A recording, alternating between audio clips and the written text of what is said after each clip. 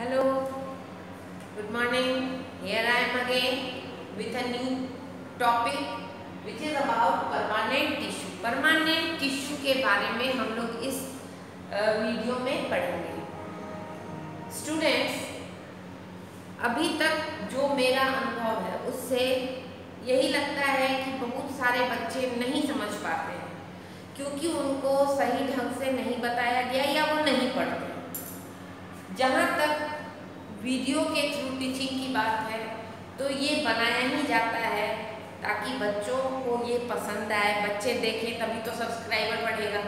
खैर, ये permanent tissue के बारे में। पहला वाला मेरा वीडियो है सिंपल टिश्यू और मेरिस्टमेटिक टिश्यू के बारे में। अब ये परमानेंट टिश्यू तो permanent tissue mainly two types के सिंपल परमानेंट टिश्यू अब सिंपल परमानेंट क्यों नाम दिया गया? क्योंकि all the cells are similar इस परमानेंट टिश्यू में सिंपल परमानेंट टिश्यू में जितने भी सेल्स हैं, जो ये सारे टिश्यूज में प्रेजेंट हैं, सब एक तरह के हैं।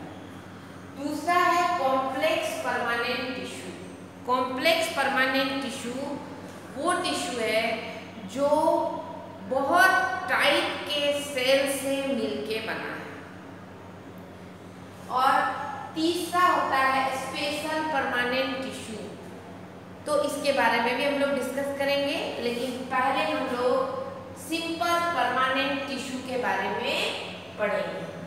तो सिंपल परमानेंट टिश्यू फिर आगे टू टाइप्स के।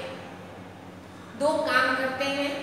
एक सपोर्ट और दूसरा प्रोटेक्शन सपोर्ट के लिए जो टिश्यूज हैं, उनका तीन तरह के हैं। वो तीन तरह के हैं और इनका तीन नाम भी है। पहला है पैरेंकाइमा दूसरा कॉलेनकाइमा और तीसरा है स्क्लेरेंकाइमा जो ग्राउंड टिश्यू भी जिसको हम बोलते हैं वो भी अब दो तरह का है, क्योंकि कुछ पैरेंकाइमा में क्लोरोफिल प्रेजेंट है तो उनका नाम हो गया chlorenchyma chloroplast having parenchyma are called chlorenchyma दूसरा है एरेंकाइमा एयर से बना।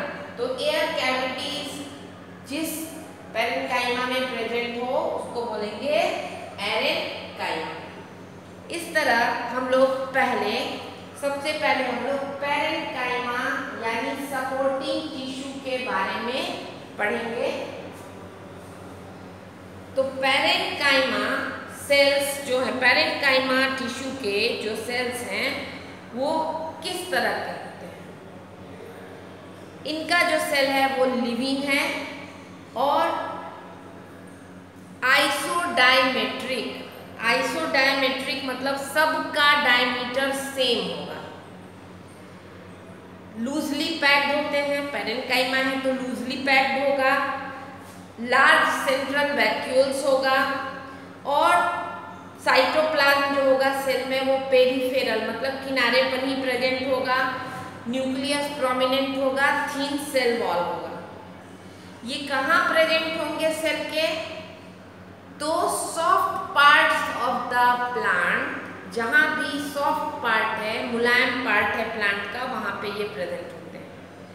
इनका काम है स्टोरेज दूसरा है स्टोरेज मतलब प्लांट्स में फ़ूड का स्टोरेज होगा। मेनली तो वही होगा। या फिर वेस्ट सब्सटेंस का भी स्टोरेज हो सकता है, लेकिन वेस्ट सब्सटेंस स्टोरेज के लिए वैक्यूल है, सेल में तो वहाँ पे होता है।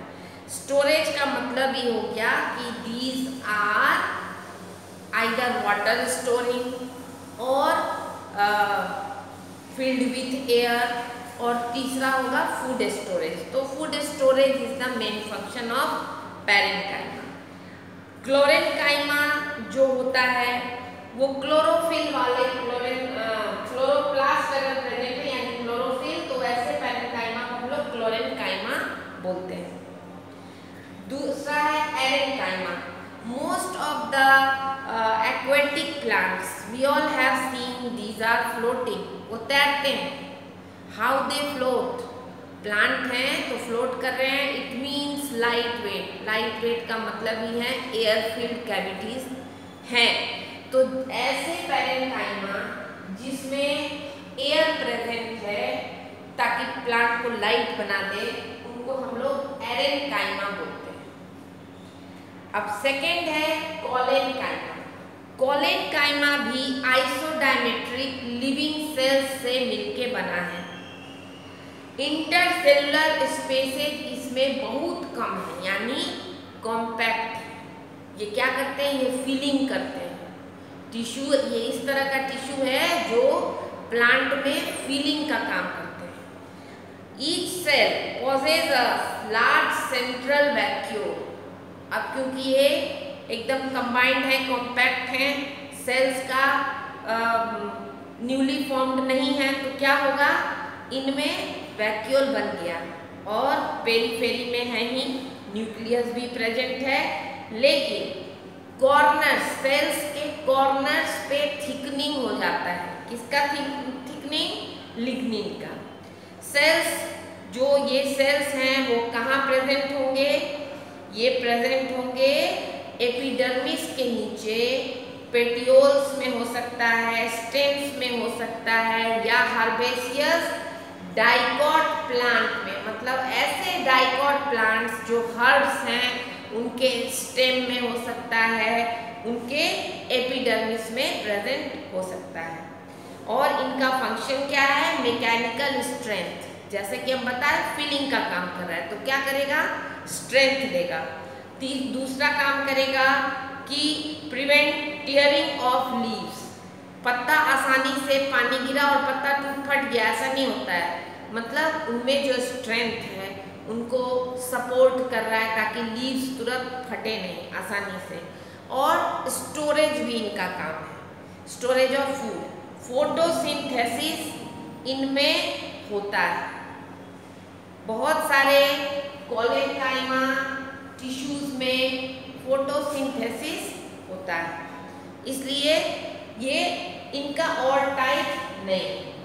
थर्ड है स्क्लेरेंकाइमा स्क्लेरेंकाइमा का जो सेल्स है, वो थिक वॉल्ड है। ठीक है? अभी तक तो थिन वॉल्ड था।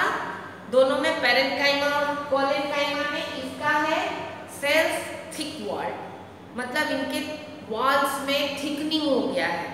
कोलेनकाइमा में कॉर्नर्स पे सेल के कॉर्नर्स पे था, इनमें कोई भी थिकनिंग नहीं अब इसमें क्या है? इसमें थिकनिंग इनके सेल वॉल में ही हो गया। और बहुत कम प्रोटोप्लाज्म होगा या नहीं भी हो सकता है। जो भी सेल है, जब प्रोटोप्लाज्म नहीं है तो क्या होगा? डेड सेल्स होगा। तो all cells are dead in maturity जैसे जैसे सेल मैच्योर होगा, वैसे वैसे डेड हो जाएगा। और ये सेल्स जो हैं, वो फिर आगे जाके हम इनको दो टाइप में बांटते हैं। पहला फाइबर्स फाइबर्स क्या होगा? Fibres you all have seen fibres fibres मतलब रेशा। तो रेशा है मतलब ये इलोंगेटेड होंगे और वन से लेके 90 सेंटीमीटर तक इनका लेंथ हो सकता है। नैरो होंगे, स्पिंडल शेप्ड होंगे। Spindle means pointed at the ends फिर होगा, इनमें ये मैकेनिकल स्ट्रेंथ देते हैं। तो we all know that there are many five most of the fibres that we obtain from plants we get from the stems so these are present in stems and these also provide mechanical strength और दूसरा हो जाएगा, पहला हुआ fibres दूसरा हुआ sclereids sclereids हैं highly thickened fibres से फाइबर्स तो थिन हैं इलोंगेटेड हैं फाइबर की तरह है. लेकिन ये जो है स्क्लेरिट्स ये हाईली थिकेंड सेल्स हैं. डेड इनमें नैरो कैविटीज होता है और सिंगल और ग्रुप में ये प्रेजेंट रहते हैं। इनका काम है स्टिफनेस, कड़ापन देना। मतलब उसको जिस कंडीशन में है, उसी में खड़ा रहे। तो इस तरह से दो तीन टाइप के जो हमारे सिंपल परमानेंट इश्यूज़ हैं, हम लोग उनके बारे में पढ़ लें दूसरा है प्रोटेक्टिव टिश्यूज ये प्रोटेक्टिव टिश्यूज जो हैं वो दो तरह के हैं। पहला है एपिडर्मिस। एपिडर्मिस का मतलब क्या है? एपी का मतलब होता है अपॉन और डर्मा का मतलब स्किन। तो प्लांट्स में there is a there are many types of plants because they have different habitat many of the plants live in water means they are aquatic hydrophytes कुछ जेरोफाइट्स हैं, कुछ mesophytes हैं। अब इंसान और जानवर तो है नहीं कि अपना नहीं, जगह पे नहीं रहना चाहते हैं तो चेंज कर लेंगे दे आर स्टेशनरी मतलब फिक्स टू द पॉइंट तो अब उनको वहीं रहना है। इसलिए इनके बॉडी में एपिडर्मिस और कॉर्क नाम का दो प्रोटेक्टिव टिश्यूज हैं। तो एपिडर्मिस जो हुआ वो सिंपल परमानेंट टिश्यू का ही है, इसका फ़ंक्शन हुआ प्रोटेक्शन प्रोटेक्शन किससे? तो प्रोटेक्शन होगा वाटर अगर बहुत ज़्यादा एंटर कर गया प्लांट्स में तो क्या होता है? अब उसको प्रोटेक्ट करना है अपने आप को तो वो ट्रांसपीरेशन के थ्रू तो गार्ड सेल्स फिर क्यूटिकल्स पानी में रहने वाले जो प्लांट्स या फिर हाई जेरोफाइट्स उनके लीव्स में, उनके स्टेम पे पानी जो है अंदर से बाहर नहीं आए, इसलिए एक थिन वैक्सी लेयर होता है, उसको हम लोग बोलते हैं क्यूटिकल तो स्टोमाटा क्यूटिकल और तीसरा है आपका हाँ यही दो ही तरह का होता है. क्यूटिकल अब गार्ड सेल तो स्टोमाटा का ही पार्ट है, इसलिए स्टोमाटा हो गया तो दूसरा हो गया आपका क्यूटिकल इस तरह का जो भी स्ट्रक्चर प्रेजेंट है, वो एपिडर्मिस पे, वो उनके प्रोटेक्शन के लिए है। मतलब प्लांट पार्ट्स के प्रोटेक्शन के लिए। लेकिन ये भी क्या है? ये भी हमारा परमानेंट टिश्यू का सिंपल परमानेंट का टाइप है। सपोर्टिंग में भी हो गया और प्रोटेक्टिव में दो। दूसरा है कॉर्क कॉर्क का क्या काम है? कॉर्क कहाँ होता है? कॉर्क का मतलब होता है ओल्ड डाइकॉट स्टेम्स और रूट्स में ये प्रेजेंट होते हैं क्योंकि कॉर्क कैम्बियम वहीं पे होता है। तो इनका कैरेक्टरिस्टिक्स है कि इनमें सुबेरिन पाया जाता है। कॉर्क सेल्स डेड होते हैं क्लोजली पैक्ड होते हैं और कोई भी जब क्लोजली पैक्ड है तो इंटरसेलुलर स्पेस नहीं होगा। सुबेरिन जो है वो कॉर्क सेल्स को impervious to water and air बनाता है। ना तो एयर और वाटर उसमें एंटर कर सकता है, ना बाहर फ़ंक्शंस हैं प्रोटेक्शन प्रोटेक्शन मतलब ये प्रोटेक्ट करता है इन्फेक्शन से प्लांट्स को मैकेनिकल इंजरी से, और डाइसेक्शन डेसिकेशन सॉरी डेसिकेशन से। दूसरा है लेंटी सेल्स जो होते हैं। लेंटी सेल्स कॉर्क में पाए जाते हैं। तो lenticels outer surface of cork पे होते हैं। एयरेशन के लिए जो इनर सरफेस है, उसको एयर मतलब ब्रीदिंग के लिए एक्सचेंज ऑफ़ गैसेस प्रोवाइड करने के लिए ये स्मॉल होल्स होते हैं। लेंटी सेल्स का नाम आप लोग पहले भी सुने हुए हैं।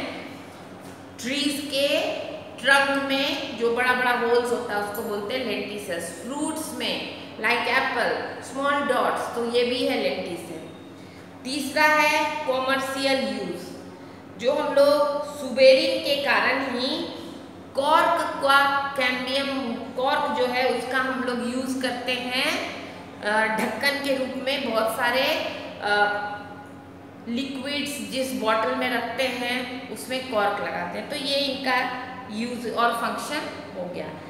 So I hope you all have understand about the permanent tissues mean simple permanent tissue because classification of plant tissue is very uh, big topic and we cannot include all the topics in one video. So I will again make another video for complex permanent tissues and special permanent tissues.